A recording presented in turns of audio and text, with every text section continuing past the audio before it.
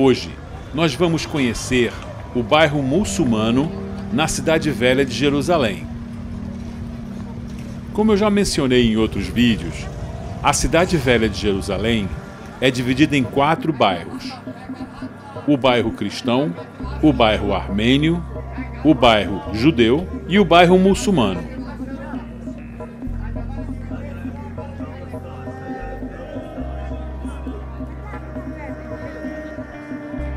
Andar por essas ruas hoje é como viajar no tempo.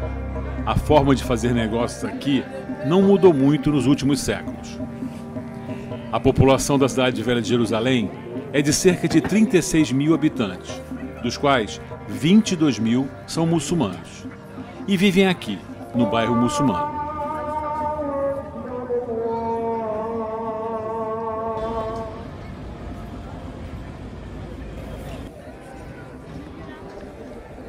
Essa ponte de madeira é chamada Ponte Mugrabi. É o único acesso ao templo da montanha permitido a não muçulmanos. Daqui temos uma vista privilegiada do Muro das Lamentações. Estamos agora entrando na área do Templo da Montanha.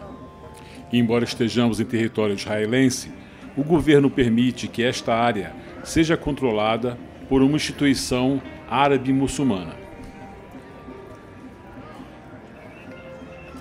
Bem aqui à direita temos o Museu Islâmico, proibido a não muçulmanos. Mas talvez os artefatos mais interessantes estejam aqui. Essas peças de colunas, em diferentes estilos, usado pelos romanos, bizantinos e cruzados, e reutilizada em muitas das construções islâmicas, nos conta um pouco da história desse local. Essa é a mesquita Al-Aqsa e a entrada de não muçulmanos não é permitida.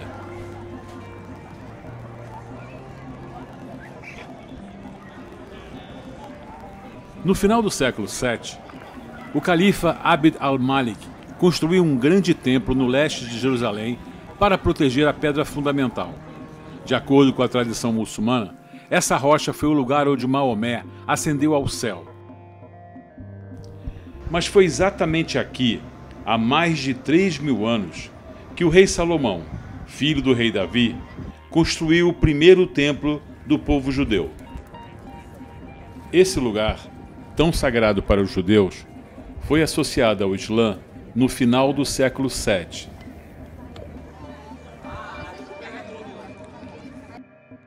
Os cruzados capturaram Jerusalém em 10.099.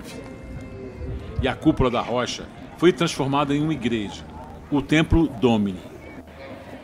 A mesquita Al-Aqsa, que havia sido destruída por um terremoto, foi reconstruída, mas agora como um palácio cruzado, que mais tarde se tornou a sede da Ordem dos Cavaleiros Templares. Na fachada da mesquita ainda pode-se notar essas édiculas da época dos cruzados, aonde provavelmente eram exibidos imagens de santos ou figuras relacionadas à religião cristã. O sultão otomano Suleimão o Magnífico, no século XVI, substituiu toda a fachada dos azulejos e incluiu a Sura Yassin, o coração do Alcorão. Em 1993, o telhado da cúpula dourada foi renovado, usando 80 quilos de ouro, após uma doação do rei Hussein da Jordânia. É comum encontrarmos pequenos grupos de judeus religiosos visitando a área ao redor do local onde ficava o Templo de Salomão. Mas eles são proibidos de rezar ou exibir qualquer objeto religioso.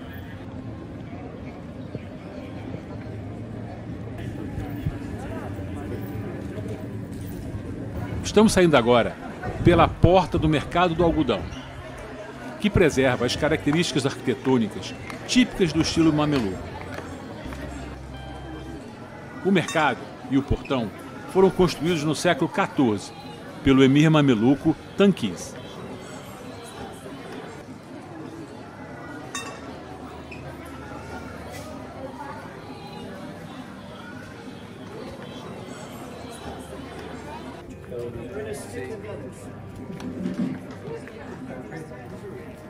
Aqui no bairro muçulmano estão as primeiras estações da Via Dolorosa, o caminho que Jesus percorreu com a cruz até o Monte Gólgota.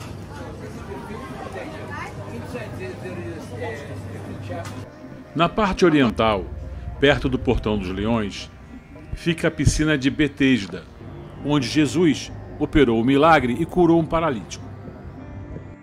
Ao lado está a igreja de Santa Ana, a mãe de Maria, construída pelos cruzados.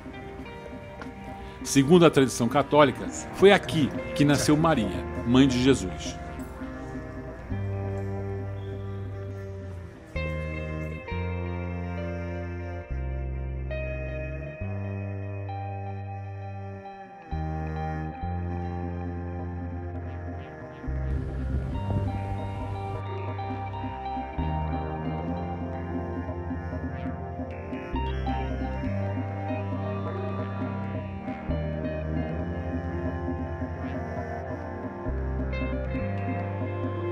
Uma boa opção para quem quer ter uma vista de cima do bairro árabe é subir até o terraço do antigo hospício austríaco, hoje convertido em um hotel para peregrinos.